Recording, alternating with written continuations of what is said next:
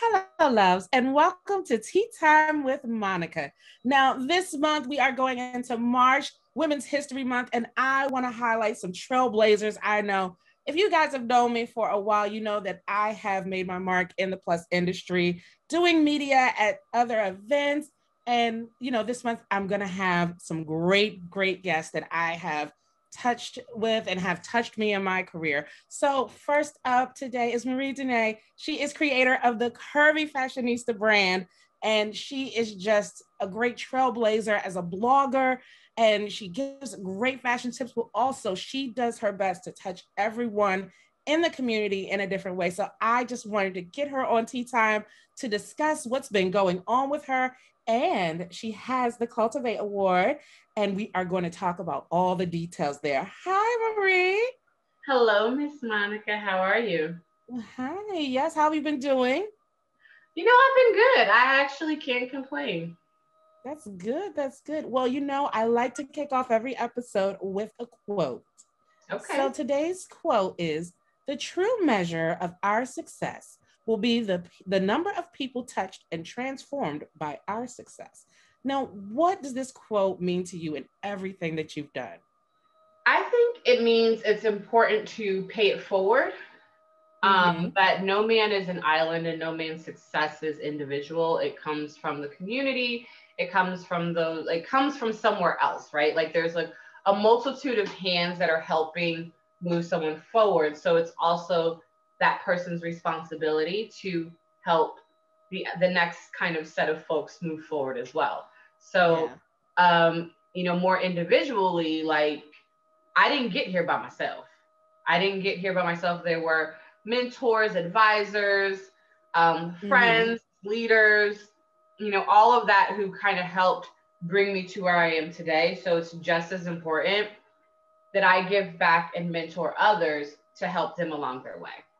Yeah. And you've done a great job at that. I remember now, audience, uh, we are going to go a little further back and get a little history, but if you know Marie, you have been to her TCF Style Expo in Atlanta. And I remember being in the blogger mastermind class and all the gems that you give, the whole workbook and everything.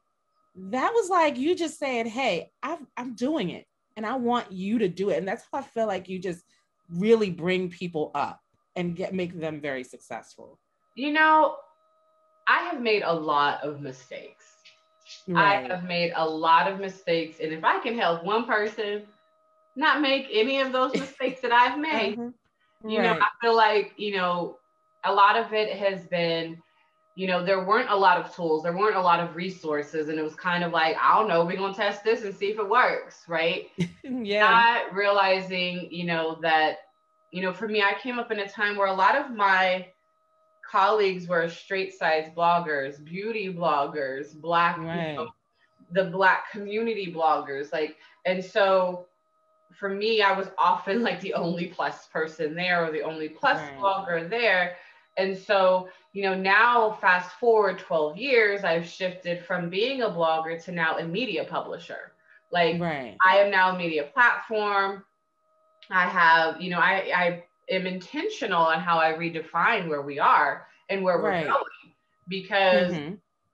you know, I'm excited. I have like a whole vision, but I also realize like, you know, I wouldn't have gotten here without the help of so many folks. Right. Because like, especially when things were like wild, wild west, they still are a little bit, but there's still, you know, there's some structure, but there wasn't before. Right. I had no idea. You had no idea what you were getting into when you stepped into blogger world. No idea. Wow. None. Well, well, that I can say that class was a big help, and I hope you bring it back in some way. But that's the goal. Okay, I like that. See, that's the type of tea I like. Where's that good tea coming from?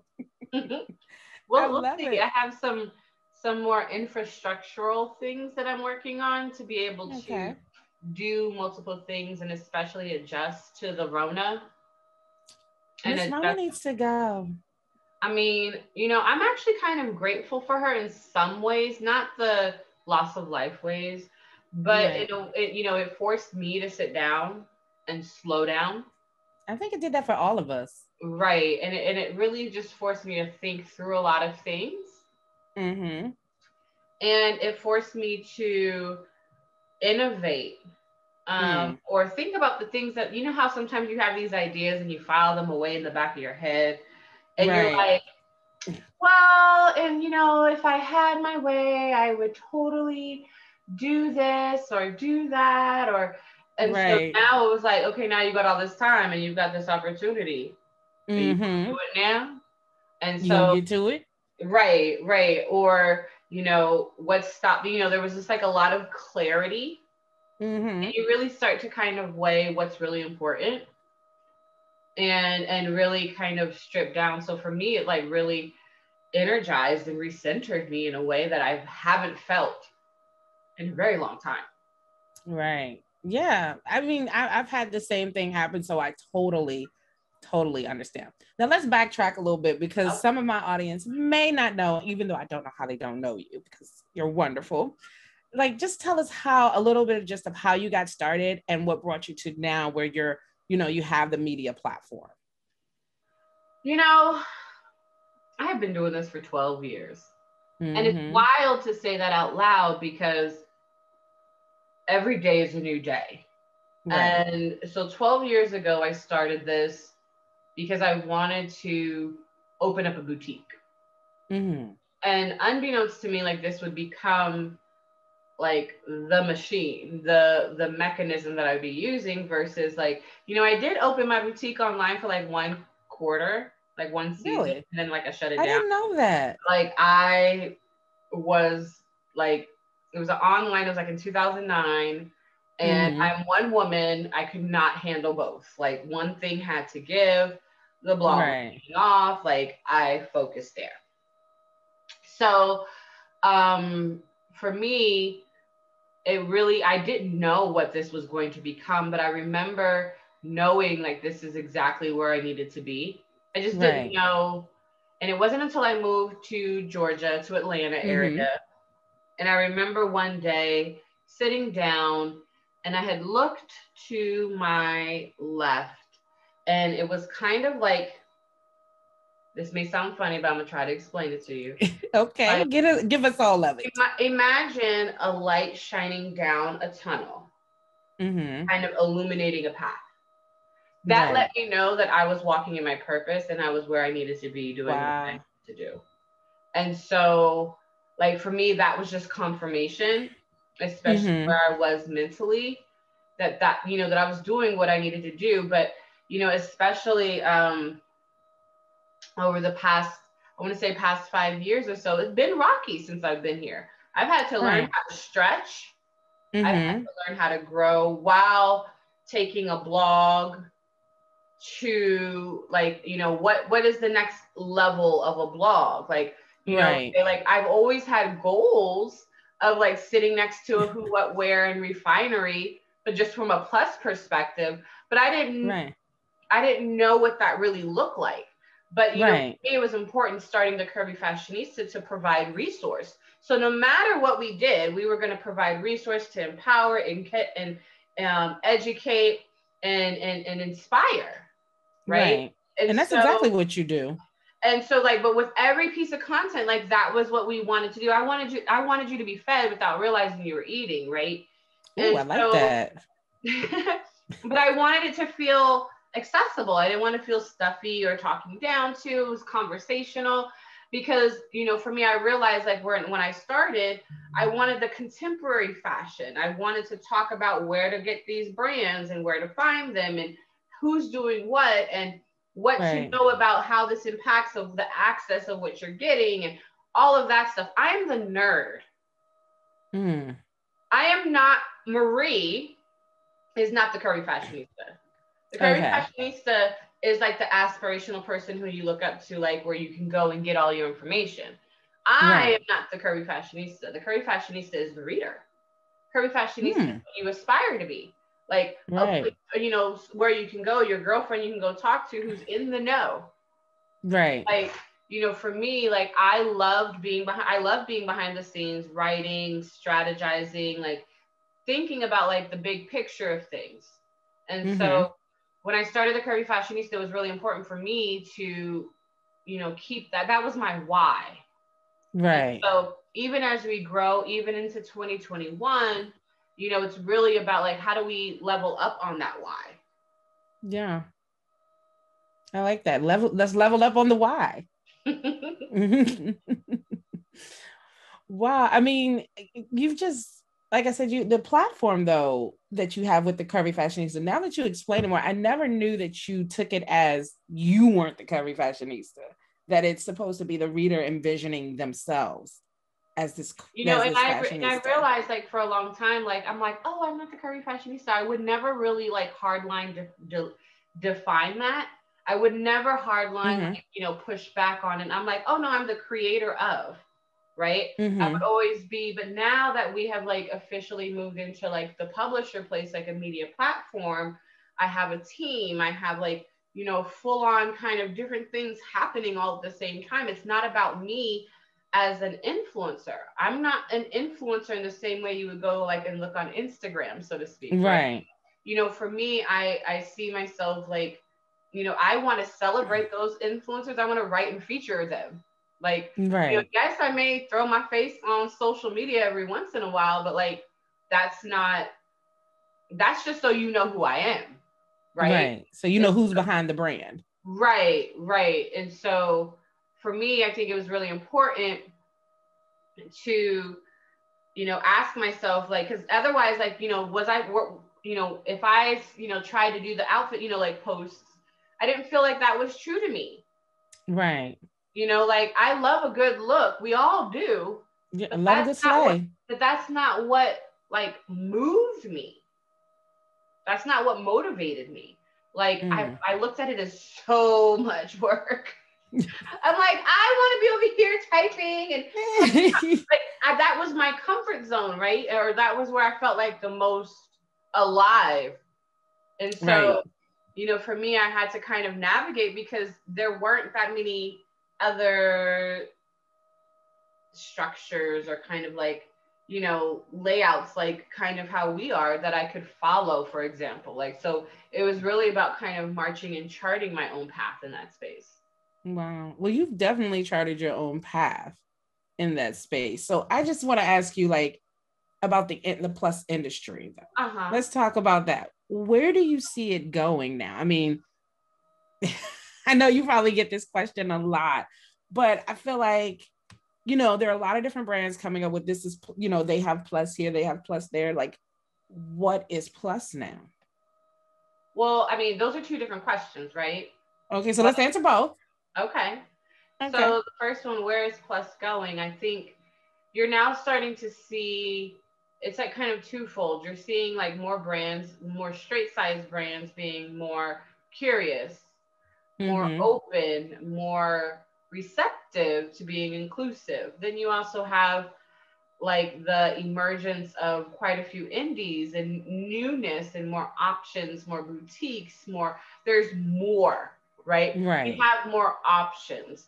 And so, whatever that means to the um, to the consumer you're going to find, you know, in how they, what they want, what they're asking for. So you see now more brand, more, you see the consumer and the industry and the community pushing and challenging brands to push beyond a size 24. Right. right? So before yeah. it was just the inclusion, right? Up to a 3X. And now the push is now, oh no, you need to carry up to at least a four or 5X. Mm-hmm. Right. Definitely. Um, and so you're starting to see that push. You're starting to see um, the diverse diversity, the diversification of body shapes and sizes um, to be included in the marketing mix, in the campaigns, in the imagery. So you're seeing that push. Um, mm-hmm. So right now, I just see a lot of like, you know, pushing the next level of inclusion, pushing the next level. I think you're still going to see the challenge for more inclusion of Black and Brown women because we've been championing the fashion space in the plus size um, as it pertains to plus. So mm-hmm. you're you're still seeing that like call out. You know, you're still yeah. seeing that need for this this our voices to be heard and respected in you know when it comes to the community and the industry side of things so you know from both sides of the questions you know what are we seeing with plus we're seeing more not enough right. but we still are seeing more there's still a long ways to go we're still in the infancy in terms of the growth cycle because mm-hmm. we haven't even hit or have can can adequately adequately predict where the plus size industry is going to be in 10 years. Mm-hmm. So, you know, like it's still growing at like double the rate of straight size fashion. So, like, what does that mean for us? Like, there's still so much, like, so much space, so much room to play in. As what is plus, I mean, still, it's still like 14 and up. Yeah but I don't think you know because it's funny, you know, in in like a straight model world, you know, we hear all this, you know, if you go there, plus is really size eight or ten, and we're looking like, no, it's a fourteen. I think that's because you still have a lot of folks who use the padding to fit into mm-hmm. the product but you're also having coming up against like societies like transparency and imagery transparency and marketing so these what used to work 10 years ago mm-hmm. can no longer work today. Because also the types of clothes that we are requesting, the types mm-hmm. of looks and fits that we want don't always work for a padded body. They don't.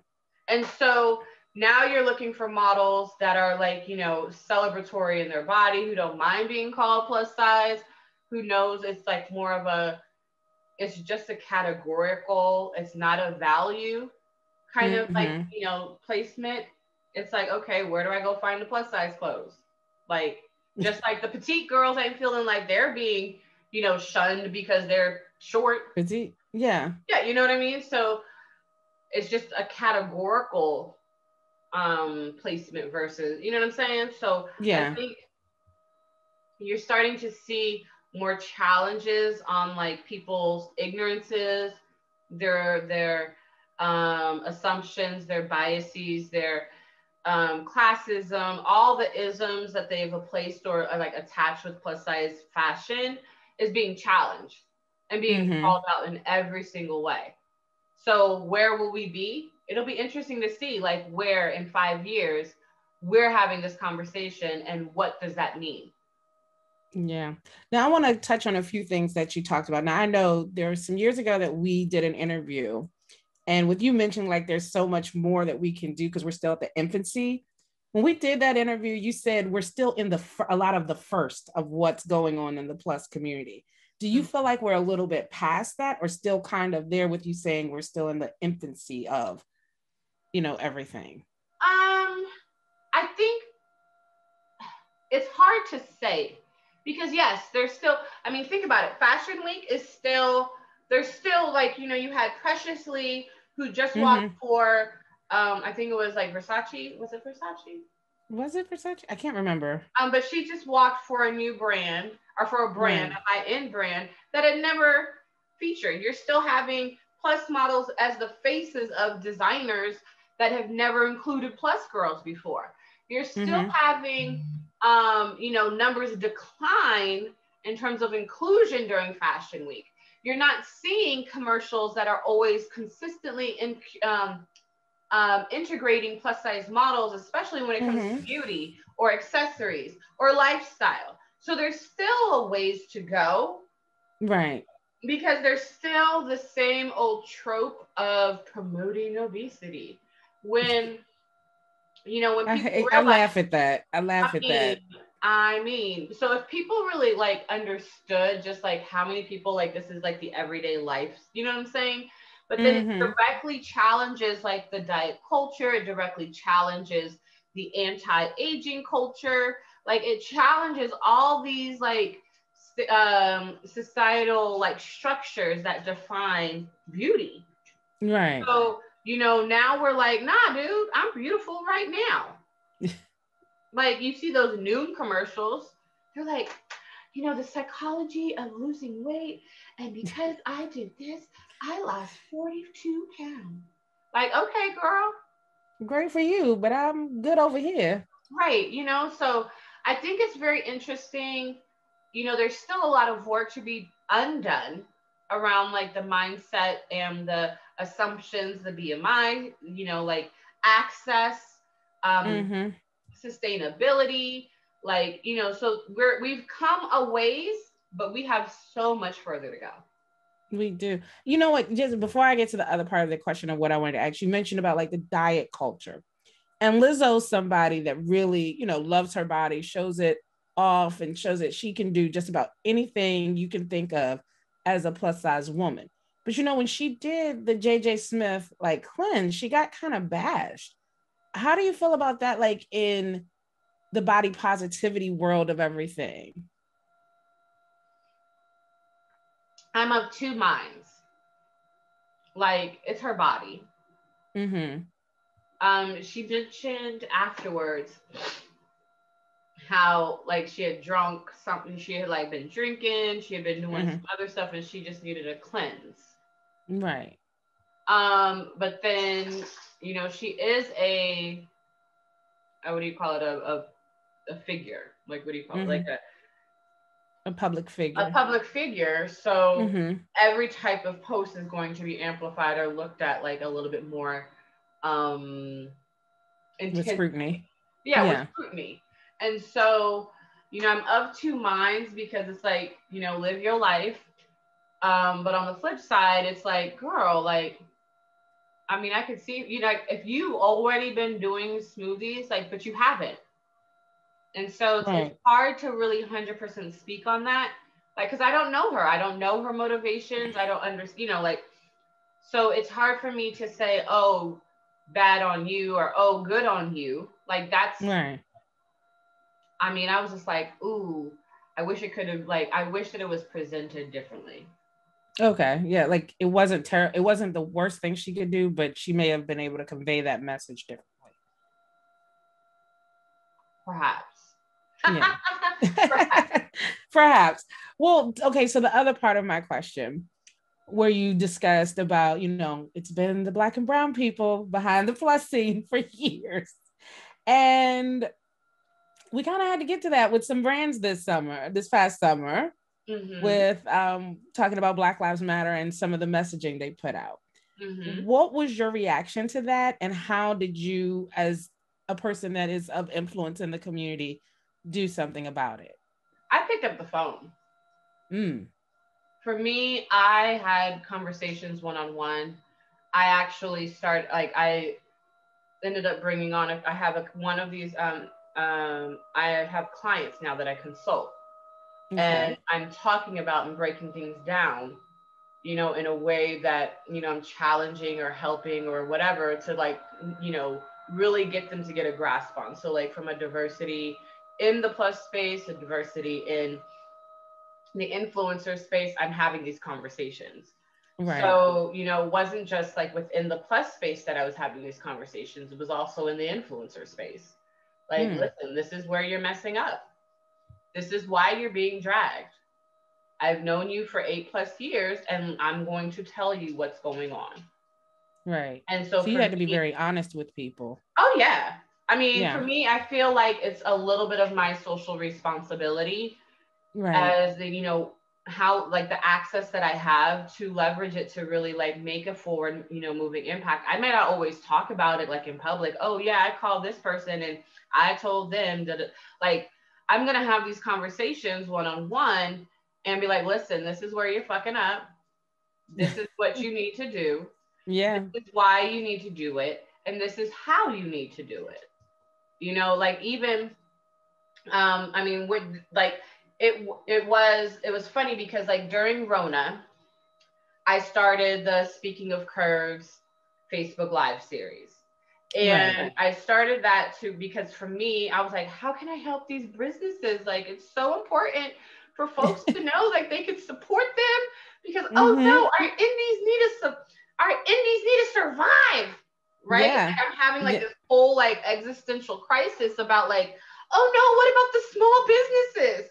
So I started this series so that people can mm-hmm. get to know the person behind the brand and hear how they're making it work. And like other business owners have watched it and have learned their tips and you know like applying them so they can grow together right right and i was like but what can i do more right so i'd already yeah. had this thought process already had like this would be so cool if i could just because like everybody named mama started having grants and so right. i was like damn like i want to do a grant type of thing for the community and so a little bit after peak BLM, mm-hmm. I was like, you know, I reached out to Eloquii and I was like, listen, I know that you've been, you know, like you've been called to the table. They definitely like, were. Right. And, mm-hmm. You know, I want to do this for the indie designers.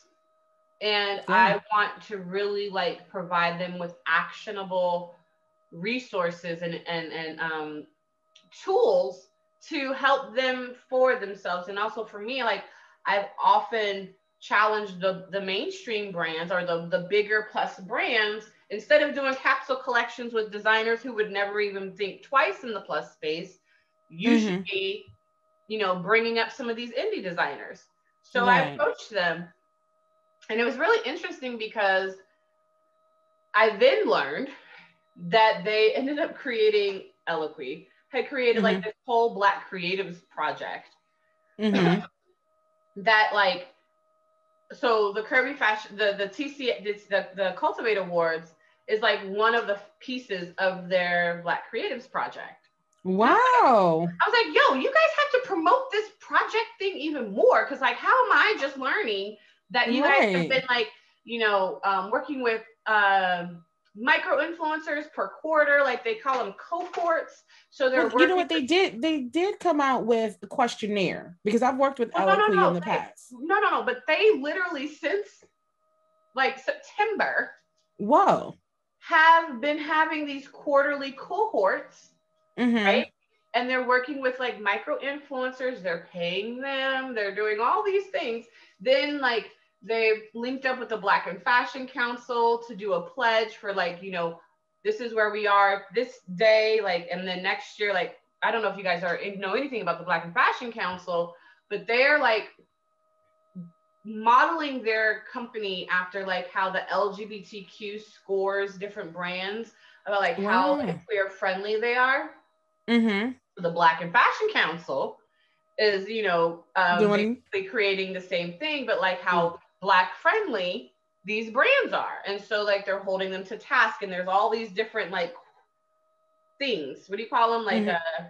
uh, um, qualifiers and like different mm-hmm. like areas and so i was like okay and then they made a pledge to like you know have a certain percent of um, more people at headquarters of color and so i was like okay this works like y'all get it okay like you're you're getting it right? You're, right, you're getting it. Like, like, you know, like every nobody's perfect, right? Nobody's like, oh, I've got this perfect, and everyone's still learning. And so, mm-hmm. for me to work with them, you know, they saw the importance like right away. Like they okay. saw it, and I was like, okay, cool. Let, let's move forward. And so we were going to announce it in September, October, but then they had just launched like something else and then like then we had like the election and all the craziness and Black Friday and like so we were like let's Ooh. wait and announce this in January because like you know we could have announced it in September but like it was just like so many things going on in the world of Rona. Right. So then you know like so that's why um you know we just announced it this January for this May event and it's really exciting because like we've also got on like a couple of other partners and sponsors that we're going to be announcing. And some of them are like big ass names. Some of them are like, you know, like really cool business owners that have like amazing programming that they're donating to the winners. So it's just like, you know, like a series of like excite there's it's just a lot of excitement around what additional elements can kind of come into play. And mm-hmm. you know, this is where, you know, my advocacy my platform paired with like my personal initiatives kind of like i was like we're going to do something for these indie designers yeah the indie designers have been doing everything for the industry since time began so i mean it's amazing that you are advocating for them and that these brands are finally going to take notice. Right. And so it'll be interesting to see like, you know, how many applicants we get and what kind of uh um turnout. And then, you know, it's really exciting because our finale will be live streamed. Wow. Um, I know. And so uh it's really exciting. This is some good tea, honey. I'm like, girl, I'm waiting. Like, when does it get streamed? I want to watch. Yeah. So you know, um, the the live stream will be the finale. So it'll be like the finalists, and they're showing their collections of what they have, and mm-hmm. um, you know, the winners will be chosen from there. Wow. So, can we talk a little bit about what the winners will receive, or is that too much tea for us? Well, I mean, I can share what's already been in the press release. Like, I can't. Okay, all right. I know you can't give me the exclusive, but you know I'm gonna come right. back for it, right? I'm here for it. I'm, I get you. I got you. Yeah. So, like, you know, so it's a so the the winner will get like a ten thousand dollars scholarship prizing with the capsule mm-hmm. collection, with a year of mentorship, like in understanding every single facet that goes into a clothing line. Um, mm-hmm. And then the runners up will get uh, a $2,500 um, stipend or, you know, scholarship, as well as like um, all three of them will get um, a variety of different pricing from like lawyer consultations to um, marketing to um, courses on learning how to create content um, right. some credits at some major places to so it's like really actionable like every type of partner is bringing something that's going to directly impact the bottom line of the designer's business wow and you know what you need that because sometimes when you're a designer you're not thinking about everything else exactly. that goes into the business exactly. you are the creator of the line that's what you love and you're not thinking about all that other stuff that goes into it. So this type right. of mentorship mm-hmm. is something that is needed, I think, for indie designers because they can only do but so much by themselves. And it does take a lot of sometimes it takes a lot of capital to have someone to do all these other things for exactly. you. Exactly. This is amazing. I am excited. When I saw you first post about it, I was like, oh my gosh, this is amazing. And I oh, was so happy that you were partnering with Eloquii because as a brand, I love them. You know, being here in the DMV, that was where they opened their first brick and mortar. And I'm I was so sad to see them go because they, if you audience, if you've ever been to an Eloquii store, if they were ever in your area, they were all about doing more in the community though. They didn't just, it wasn't just about coming and buy some clothes the events that they even had were, you know, the events that they even had were great. I worked with them so much and the way they just highlighted people in the community in that area, I thought was special. Aww. I did. I did. So I'm I'm happy that they want to, you know, be better at making sure they're inclusive with everyone right. who supports them. Right. And you know, and one of the things that I also appreciated that is like our event wasn't like the only thing that they're doing, right? Right. It's like our event sits in, you know, a series of like their initiatives. I was like, y'all gotta promote this more. Like folks need to yeah. know what you're doing in response to being. I'm just saying, like, I mean, do people know? You know, I don't know. I don't think everybody knows. I didn't know right. everything that they were doing. I mean, like I said, when they when they first got backlash about their post about Black Lives Matter. I do remember, like I said, they sent out a survey to consumers about like how they could be better, and then they did come out and they they did like one email. But how many people clicked on that email to know that they would be doing some of that work? And you know, people are just about like it's like you said, it's been so much going on in the. How many people really paid attention to it, as opposed to them actually promoting what exactly they're doing. And so it's good that you said something to them about it and that you have highlighted this Cultivate Award and what they're doing here. I I'm excited. I'm excited because for me being a person who loves fashion and loves the plus industry, I'm like, I can't wait. I cannot wait. I'm, I'm excited too. And so who knows, like, you know, I'm excited to see, like, I've had a couple of other conversations this week with like potential partners. And so just waiting to see, because I'm like, I'm going for the moon. Because if I miss, I'm amongst the stars. Like, let's bring I know that's right. actionable like resources and and you know, for me, it's just like I I'm literally going after the brands I wish I had relationships with, like when I first started, because like, mm-hmm. like I didn't know what I didn't know, and because I didn't know what I didn't know, like I made mistakes, like or I was led by insecurity or fears or whatever those things are, and I want you know to be able to best to better empower, mm-hmm. and so like even this year when we talk about like our theme is elevate like we're looking i'm i'm looking at like all the different ways that i can help elevate different parts of the community. And I so you know like we'll have later this year a um a writing fellowship oh you know? really so, yeah and so it's like you know there's different things that are you know coming along that we're creating that are really considering um, different parts of the community in ways that we can help, you know, and at least bring attention to.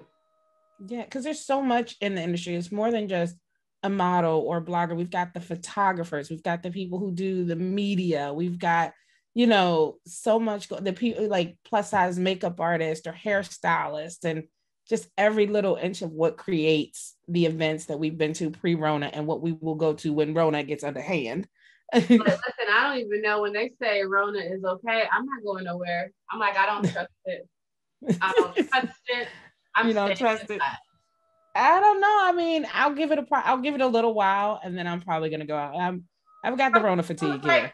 Someone's like, "Am I gonna see you in June?" I was like, "I don't know. Are you?"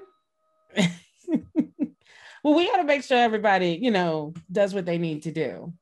Listen, I'm down here in freaking Georgia these fools out here at the strip club, at the club club, at you know the they bar. are. I've seen. I saw the pictures of what New so, Year's Eve, and it was like, oh nowhere. my god. I'm going nowhere until um, you know. I need Biden to just like shut things down, just so we could be like, you know, still for a second. Yeah, let's see what he does after these first 100 days. If he feels like he needs to do Girl, it. He's already done more in his first 30 days than his predecessor.